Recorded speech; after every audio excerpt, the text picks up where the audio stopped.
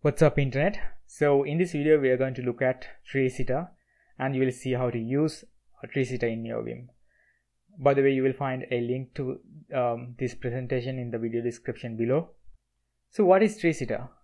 TreeSitter is a parsing library that parses some text and returns something meaningful. Usually parsing rules are built into the parser but in TreeSitter there's a separate parser generator tool where you can generate parsers and use that using parsing library.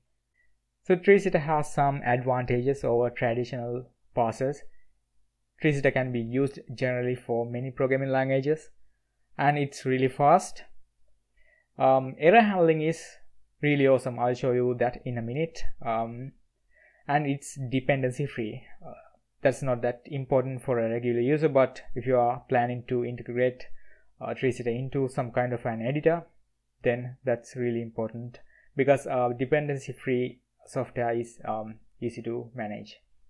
So let's learn a little bit more about TreeSitter there's a playground you can play around with TreeSitter um, I'm going to use that in a second. Um, first let's see what a syntax tree looks like. So this is the playground and I'm using JavaScript parser then let's create a class. Let's call it test. I'm going to create a constructor. As you can see as I'm typing it's going to generate the syntax tree. Now program represents the module or the entire file you have then the class declaration identifier and the name of the class then the class body. And likewise there are nodes for method as well. There are few numbers right next to each and every node in the syntax tree. First set represents the start point of the um, that particular node. Then we have the end point of the particular node.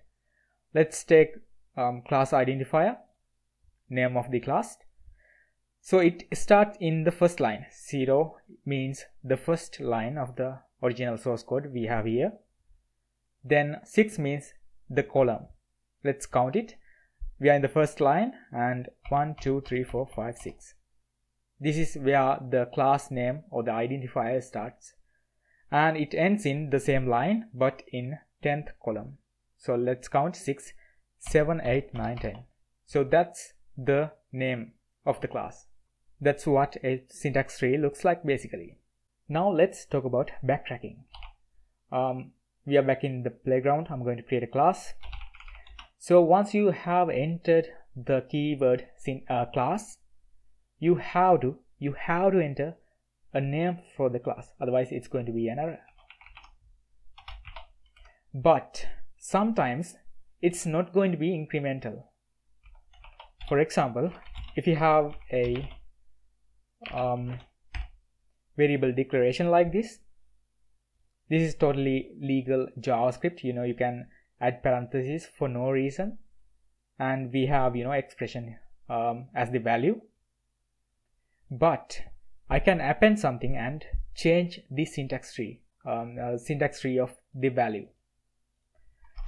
Let's make it an arrow function. Now the value is an arrow function not an expression. Now there is an issue. Um, traditional parsers will parse everything from scratch you know build the syntax tree from scratch. If you have thousand lines it's going to read thousand lines from the beginning and it will build the entire syntax tree. But TreeSitter does not do that. It's trying to uh, pass incrementally. Um, but we have to change something that we have used in the syntax tree or already existing syntax tree. So it's doing something awesome. Let me remove the arrow function. Now at the moment there are two possibilities. One is an expression, one is an arrow function. So what it does is it's going to create two separate branches or two separate syntax tree branches for those two possibilities. So at the moment it's selecting the first branch which is an expression. But when we change it to something like this, so right now the first branch is not valid. So it's going to discard that and it's going to use the second branch or the second syntax tree branch which is arrow function branch. So that's something really awesome. TreeSitter does okay the next point is incremental parsing. Um, I kind of covered that in the previous point but let's say we have a class like this and I want to update something in the existing tree. Now I'm going to change the method name to hello. Alright now it's going to take the entire syntax tree eh, the existing syntax tree and it will check where the change happened. And it will go through the source code and uh, mark the nodes that that got changed. Now it's going to rebuild the entire syntax tree but um, when it's rebuilding the entire syntax tree it's going to check um, what is changed and what is not. So it can reuse already existing uh, syntax tree. For example um, it can use method definition for print1 and print2 it's not going to change but it will rebuild the third method definition which is hello method. So that's incremental parsing and it's going to um, save so much time when it comes to really large um, source code uh, files that contains you know thousands of lines. Alright our last point is error recovery. Now this is something really awesome. Let me type something invalid. Let's do for if and we're going to have some kind of a condition here. Then curly braces now if you look at the syntax tree it identifies the statement as if statement not for. Why not for? It's the first keyword we have here. Um, it's taking it as if. As I said previously again it's going to build two syntax trees but it's taking if condition um, syntax tree over for. Um, now let me change this to let i equals 0 then let's do the condition. I less than 10 now if you look at the syntax tree it identifies the statement as for statement. So it's more likely to be a for statement because we have a um, variable declaration and we have a condition. It cannot be a if condition. So it's going to drop the if condition syntax tree branch. Then it's going to keep uh, for statement um, syntax tree branch um, in, in, in the syntax tree.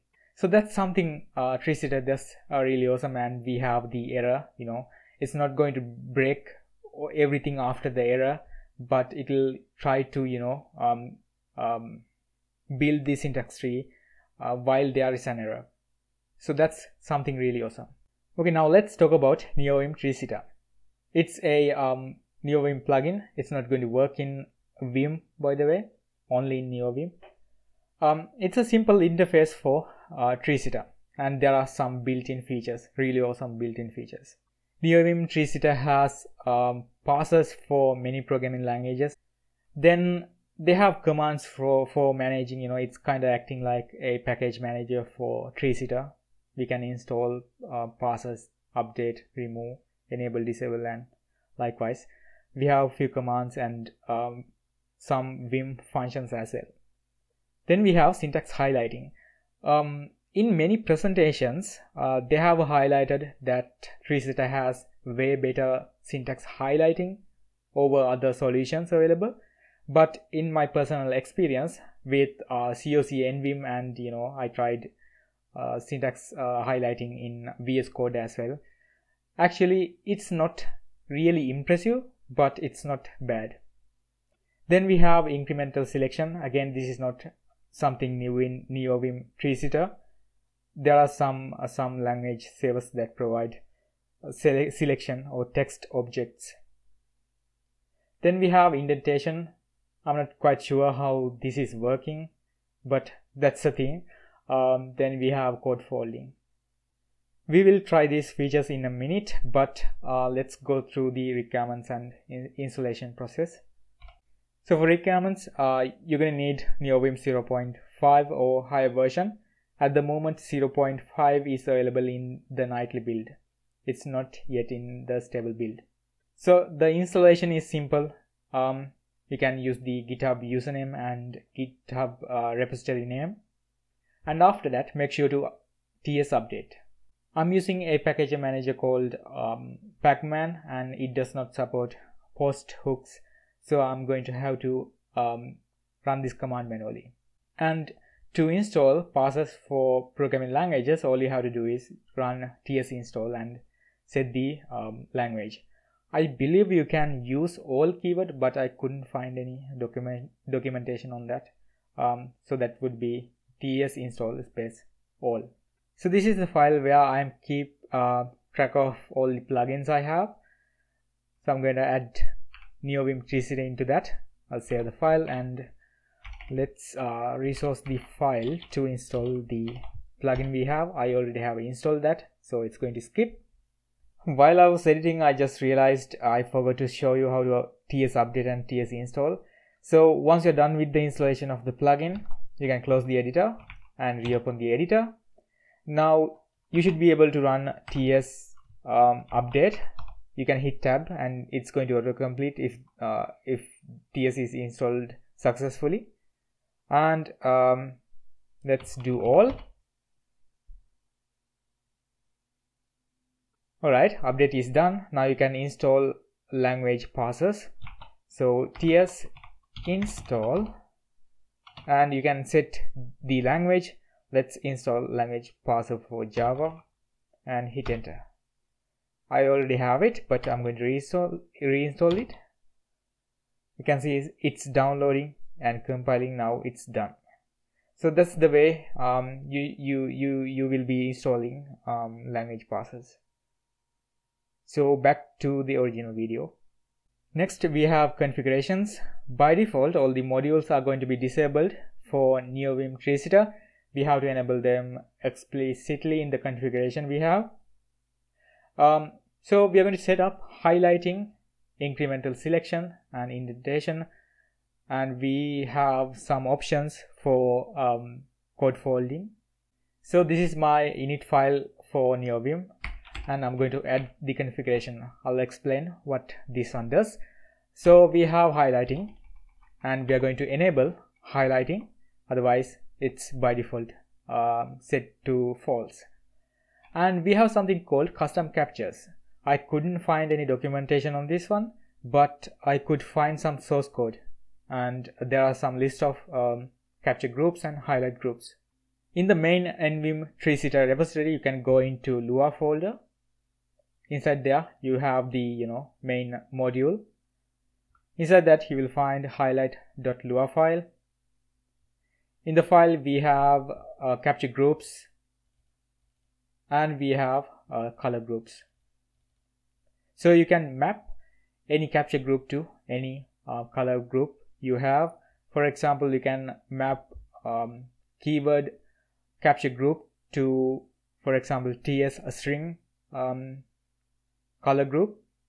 Uh, that means it's going to take the color of strings you know default color of strings and um, change it in keywords. So keyword color and string color is going to be the same. I have not enabled that but if I want to do that this is how it would look like. And next we have incremental selection. We have initialized the selection using this gnn um, gnn key bind in normal mode and node incremental. I'll show you that in action in a second. Then we have scope incremental. Usually in Java uh, we have you know curly, curly braces for the scope and node decremental. Down here we have enabled indentation and finally we have code folding. We are changing uh, fold method to expression and we have we have defined the expression to a, a function in uh, NeoVim TreeSitter. Alright, now you can save the configuration and close and reopen the file.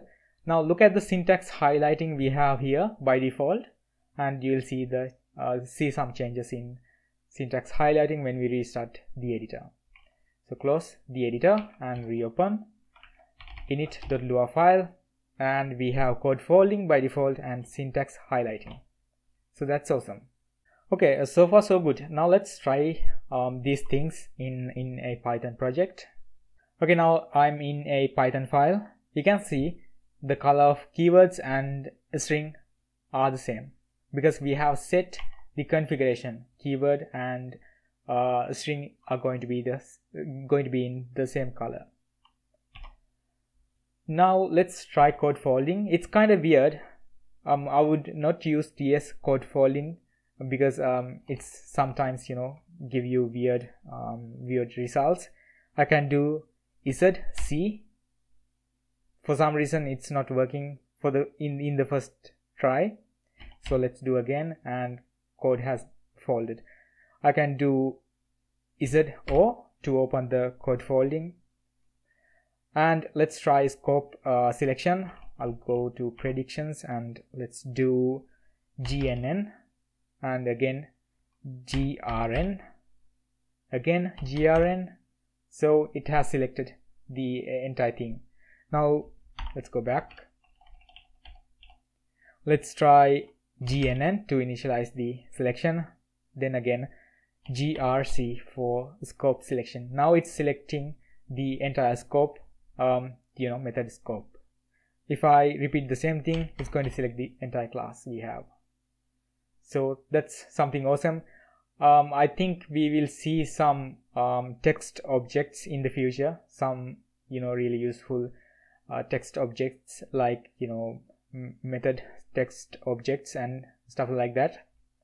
But for now uh, we got only you know incremental and decremental selections. All right we are almost done. Um, so if the color scheme you are using is not supported for TreeSitter or NeoVim TreeSitter, make sure to change uh, it to some some kind of a uh, color scheme that uh, that's supported by NeoVim TreeSitter because sometimes it will give you some weird um, you know uh, color uh, sorry syntax highlighting. You know sometimes you know method name and keyword in the same color or something like that. Um, you will find some list of color color schemes in these links.